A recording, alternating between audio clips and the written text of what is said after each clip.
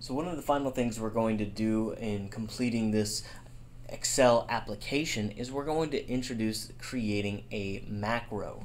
Now macro is not terribly difficult, but if we try and go about doing it right now, I can click through all of these things and I'm not going to find a macro. I'm not going to find a button that even looks like a macro, sounds like a macro, has macro in it. What I actually have to do is I have to enable it. It's currently disabled. It's disabled because, well, layman user doesn't really necessarily need it.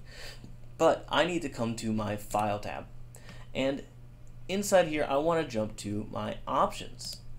Now inside here, just generally speaking, this is actually a way for me to customize my Excel. Say for example, you guys notice I have a little circuit board uh, up at the very top here. I can actually change that to say calligraphy Oh, pretty. Look at that.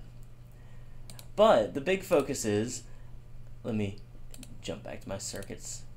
The big focus is I want to come to my customize ribbon section. Now, inside here, if we take a look over here on the right section, you notice that developer is unchecked. So what happens is if I kind of expand on that, you see, oh, code, XML, modify, modify.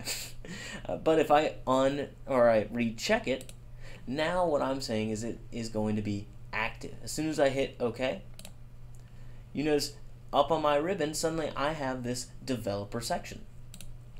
Inside that developer section, suddenly you see I have all these different abilities that were not there before.